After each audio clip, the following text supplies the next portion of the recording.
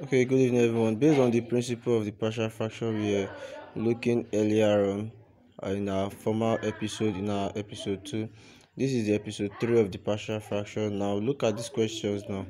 This question is an OBJ question which has option A, B, C and D.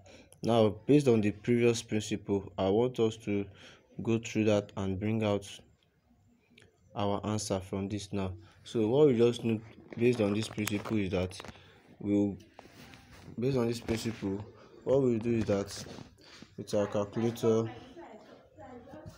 with our calculator they will check for our question first which is first of all clear your calculator shift 9 2 2 yes you see so after clearing uh, shift 9 2 so after clearing so after clearing your calculator so after clearing your calculator and the math and d so the next thing for you to do is to store your 2 like i said the other day 2 shift store. So our 2 is stored already. Then the next thing for us to do is to go to our question. Let's type our question. X plus 2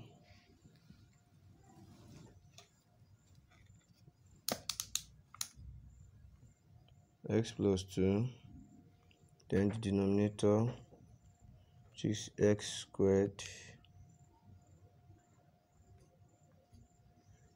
minus 7x plus 12 so this is our question now. Okay our answer should give us 2 so like i said the other day you have to be fast. Like i said the other day you have to be fast so our answer now is giving us 2 so which you have here? 2 can you see? It's giving us 2 so we will check from all these questions now which one is actually going to give us 2 so straight to the point go to your calculator back. This one has given us to press AC now. Your question. Be much careful about how you put your fraction. Separating your fractions x minus 4 close close brackets minus open bracket square 2 over x squared minus 3 this one give us minus 5 the first option give us minus 5 so this is not the answer if you check it this one is giving us minus 1 oh there's a mistake there.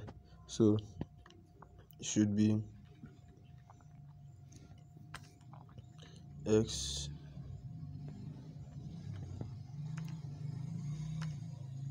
mm -hmm, this is the correct option.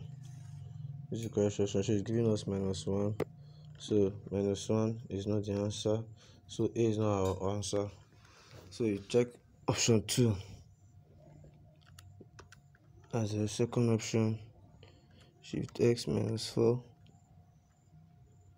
close bracket minus open bracket 5 over x minus 3 then you close your ultimate bracket then 2 so the fact that b has given us 2 which equates to our question.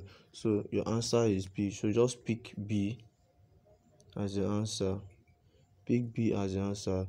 Then you go to your next question. So that's just the principle behind it. So this will be the last one. Then let me just scale through some.